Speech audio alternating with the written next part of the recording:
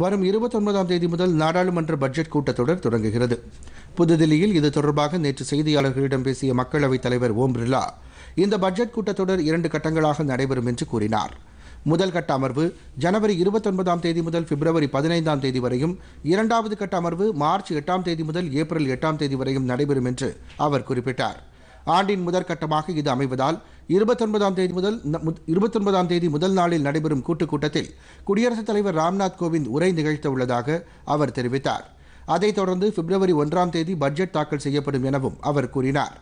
Corona தொற்று பாதிப்பு சூழலை கருத்தில் கொண்டு இருக்கைகள் இடைவெளி விட்டு அமைக்கப்படும் என்றும் அவர் குறிப்பிட்டார்.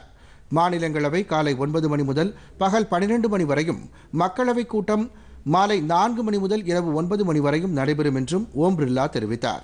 கூட்டத்தொடரில் பங்கேற்கும் உறுப்பினர்கள் அனைவரும் கட்டாயம் கொரோனா பரிசோதனை செய்து கொள்ள வேண்டும் எனவும் அவர் அறிவுறுத்தியுள்ளார்.